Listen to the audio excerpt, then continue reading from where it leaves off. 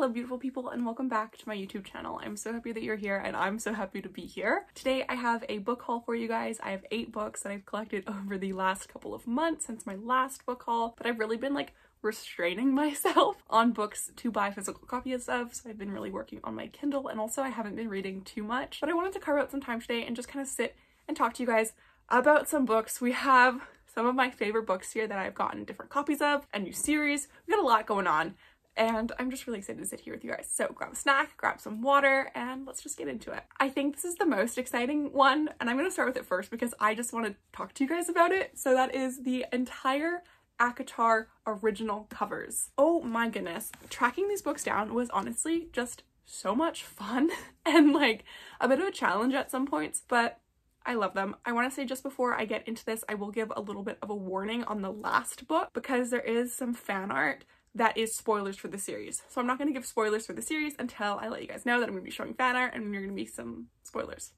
Hopefully that made sense. Obviously, we have the first book, A Court of Thorns and Roses. This is about Feyre. She's from the human lands and she ends up being taken into the Fae world after killing a wolf who is actually a Fae shifter. She then gets tossed into this world and is kind of figuring out the Fae dynamics, kind of falling in love with the Fae person that she is staying with and it's just a really fun introduction to fantasy. I think it's a really easy place for people to start and this series just has so many twists and turns that you're going to be so entertained. Obviously you've probably heard of it so hopefully my very bare bones description was adequate for you guys but this is the first book in the series. We then have my absolute favorite book in the series and this blue is just so beautiful in real life. I did not realize just how vibrant and gorgeous it was. The spine is also I think my favorite of the series but I don't know. I don't know.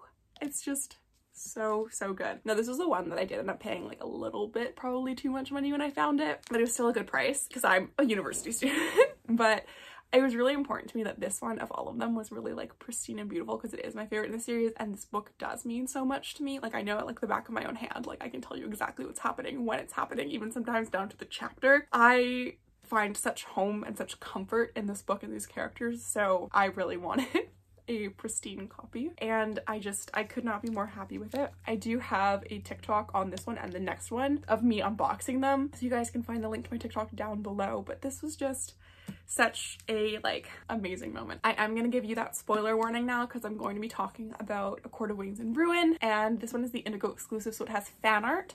So it's to have characters that are together in it and if you don't want to know anything about this series, just please skip ahead because I don't want to ruin that for you, but I also have to show you this fan art because it means just so much to me. So before I even read this series, back when I was in high school, I used to watch this YouTuber called Clare Siobhan. She did a lot of Sims, create a Sim, so like creating characters in The Sims. And for one of the videos she did, she made the ACOTAR cast of characters and I had never heard this book series before and would continue not to read it for many years to come. But the first piece of fan art that I ever saw of this series was of the inner circle right here. And so that just has kind of such a nostalgic and special place in my heart. We obviously have this beautiful version of Feyre here as well. So that immediately made this really, really special to me. Just kind of seeing that and having that kind of like tie back to when I loved the video, but I had no clue who these characters were. It was kind of a connection that I had forgot about and it just was really cool. And then when I finally started reading the series years later, I looked at fan art before I read the book because I'm insane. And also I just kind of saw fan art around because I when I got into reading I was like I'm never gonna read those books. Like you can't convince me to do it because of how the first book and the second book love interest situation happens. I was like it's gonna be such a waste of the first book. Like I don't understand it. And I had this like very strong opinion. And my friend she's like you have to read them.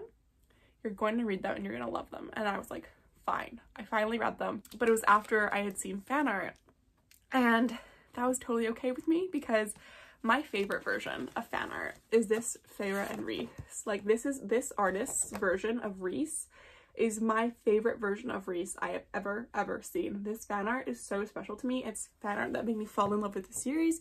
It's fan art that made me start the series. It's how I picture Rhys. It's genuinely my favorite thing. Every time I go on Pinterest and I like scroll through my ACOTAR fan art and I see this artist's version of Rhys or even Morrigan and like Amren and Feyre, like I just, I am obsessed and I don't even like know how to function So the fact that I immediately saw that this was the Indigo exclusive and it had this fan art, there wasn't an option not for me to buy it. This was the first book that I got. And then I was like, well, I need ACOMAF because that book just means so much to me and this one means so much with the fan art. And then I was like, well, then I can't just have two out of three. So then I need ACOTAR. And it just kind of snowballed into this giant thing. But it all started here with this just amazing, amazing book and the fan art in this is just so truly special to me and I I just I still I wake up every day and I my bed's right there I wake up every day and I look at my bookshelf and normally they're right here and I see them and I smile and honestly it just means a lot I know that they're books but these books these characters helped me in a rough time and like is there problems with the series absolutely ours is the dialogue at times a little bit shall we say cheeky sure but at the end of the day, they are amazing to me. but I'm not going to get too sappy. I know I got a little sappy there, but we are going to move on. I need to like go put these back safely because I do not trust myself with like my couch situation that they're not gonna like stay okay. So I'm gonna be back. Alrighty so the next book that I have I got in December for Christmas which for me is a very big deal because I am an avid reader but my family I love them dearly. They're like Ellie we want to buy you things that are more practical or that maybe you wouldn't buy for yourself so they don't often buy me books. But I begged I begged my mom. I was like mom I'm gonna be really really really sad if I don't get this book for Christmas. Could I go buy it myself? Absolutely. But did I just desperately want this book? And just to get a book for Christmas like just one I was like please. And she succeeded so I got Heartless. Now, you guys, if you've seen my other YouTube video for my book haul, you would know that I have the entire Chestnut Springs except for Flawless, which is the first book, in the indie published exclusive covers. So I have Heartless, Powerless, Reckless, and Hopeless. But I needed this copy. So now I have three copies of Heartless, which is fine. I have this copy the indie exclusive and then the copy on my Kindle. But I really, really wanted to read it physically and I don't want to read my indie exclusive indie published out of print version because apparently I've become a book collector. First these, or first those, now these. I really wanted to read this and I actually just finished reading it again. I love this book. It is just so much fun. This book is a bit of a taboo country small town romance. I'm sure you've heard about it if you've been anywhere on BookTok or anywhere recently. Elsie Silver is amazing.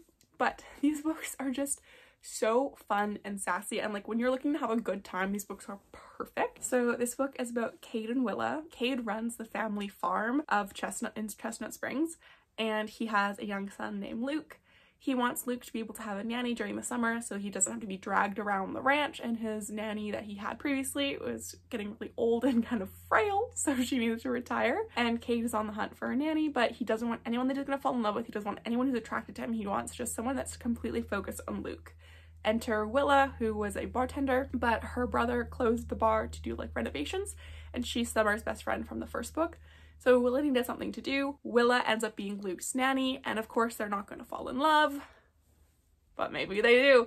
I don't know. This was just such like a fun Grumpy Sunshine. I like, I reread it and this reminded me a lot of my like ACOTAR reading experience. And you're to be looking at me like, Ellie, these are, this is a country small time romance. There's a second book in a fae fantasy series. Like what is going on? And I mean that when it reminded me of ACOTAR is that I was reading it and I was like, this is gonna happen next, this is gonna happen next, this is gonna happen next. And I was just so happy because this and the ACOTAR book are just like books that when you read them, they're just, they're perfect books, if that makes sense. Like when you're reading it, the order and events that are happening are everything that I love and everything that I want. Way too long explaining that one book, but honestly, just read the entire Chestnut Spring series. You're not gonna regret it. Which brings me on to the books that I mentioned in my last book haul that I couldn't wait for, that then arrived like a few days later.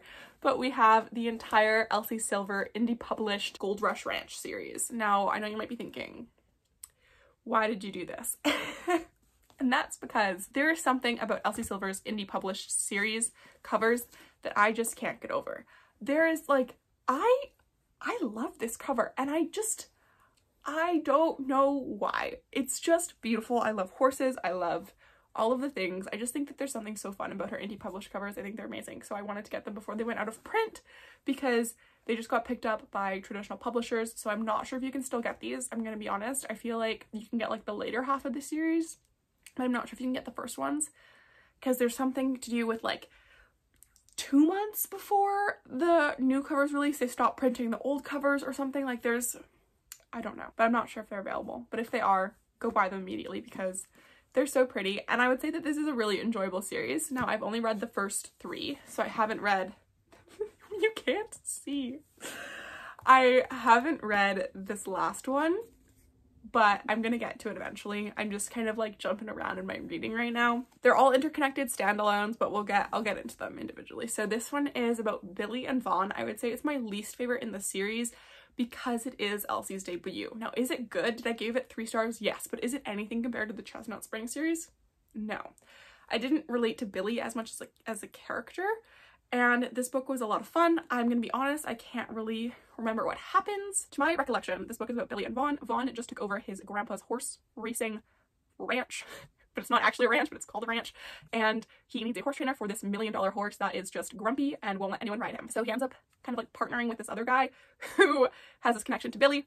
Vaughn hires Billie um, begrudgingly because he thought that she was a man and Billie ends up bonding with this horse. They end up winning races. Things are wonderful. And that's what I can remember of this book. Obviously, Goodreads probably has a better synopsis than I do, but that's what I can remember. It was fun. It was nice. There wasn't as much build up as Elsie normally has in her books. Like normally there's like tension, there's groveling but this one definitely didn't have that. It was definitely kind of like a little bit more insta-lovey, at least they're like mental thoughts about each other. It was a fun time, and for a debut, very impressive. We then have a photo finish by her. This is Vaughn's brother's book, and actually this is Violet Eaton from the Chestnut Springs series book. So she's over here leaving the boys and then Chestnut Springs follows her brothers. So that was kind of fun. This one is about Cole, I think his name is. Names are hard. I'm gonna go with Cole because I don't think I can see it on the back here and that's what we're going with.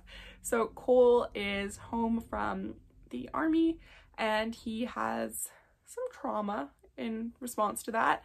Violet wants to be less of a golden girl. She's really kind of quiet and soft-spoken, but she's made friends with Billie. Billie kind of pushes her out of her shell. Violet ends up, this is probably the most taboo of Miss Elsie Silver's romances. She ends up taking some scandalous images talking with Cole online but then because Cole's not in emotionally a place where he can be supportive to Violet and can be more than what they're currently doing, they end up parting ways and then they meet in person, not realizing who is who. And it's just like a little bit awkward, but then there's a love story. It's a fun time. We then have my favorite one in the series. So this one is about Mira, who's the vet for Gold Rush Ranch and like the enemy um, at the neighboring ranch and they have a sick foal whose mom passed away unfortunately and then Stefan who's at the neighboring ranch has a mom who lost a foal. They pair the foals together and now Moira essentially the vet has to go over to Stefan's ranch and take care of the animals. Unfortunately there was a small condition to Stefan allowing the animals to be put together at his ranch. Is that one has to be at his ranch. Two he has to go on three dates with Moira. Not Moira Mira. Sorry. That is kind of where that book goes. This one is Stefan's sister, I think, but I don't really know because I haven't read it. And I don't think that I could give worse synopsises, synopsize, synopsises for these books, even if I tried. But, you know, that's okay. I'm just feeling apparently very chaotic in my reviews and I don't really, I, I've spent too much time studying. I'm too excited to sit here. Words apparently are really hard, so I'm gonna go. Those are the books that I've recently hauled. I do have Funny Story that I'm going to be reading immediately. Wild Love by Elsie is also out, but I haven't gotten a physical copy of yet. I got it on my Kindle first because I don't have shelf space. I am so, so desperate for shelf space, so I don't have that. But I'm gonna stop talking now I am going to go figure out my life. gonna go do some studying for midterms, gonna write my paper, gonna have a good day. I hope that you guys have a lovely day. As always, don't forget to like, comment, and subscribe. I do have all of my TikTok, my Bookstagram linked down below. I'm super active on TikTok. Haven't been the last few days because dying of university, but I'm super active on TikTok and I'm active on Bookstagram. I just don't post a lot there, but you can always chat with me. Don't forget to like, comment, and subscribe, and I'll see you guys later. Bye, everybody.